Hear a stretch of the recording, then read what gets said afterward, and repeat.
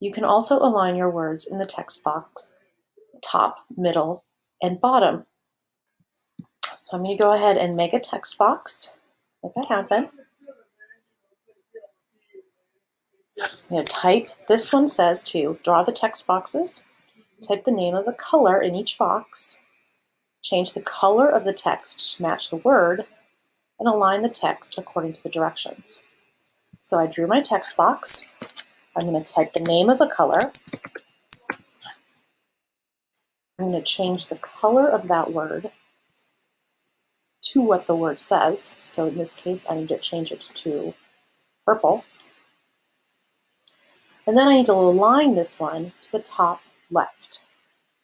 So I'm going to go to Format, Align, Left, Format, Align, Top. I'm going to go ahead and draw another text box. Pick another color. Come go with green. And I'm going to change the color of that text to match the word.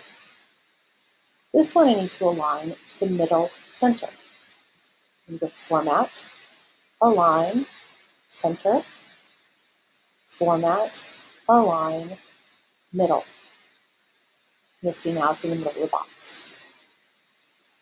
Go ahead and draw one more text box.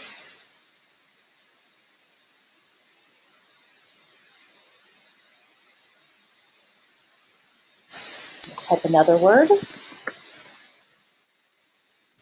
Highlight it again. Change the color of the word to the name. This one needs to go to the right bottom.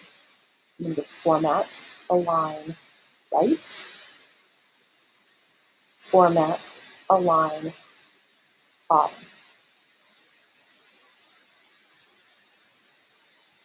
Now you can see that all of my words are in color. This one's in the top left corner, this one's in the center middle of the box, and this one's in the bottom right corner.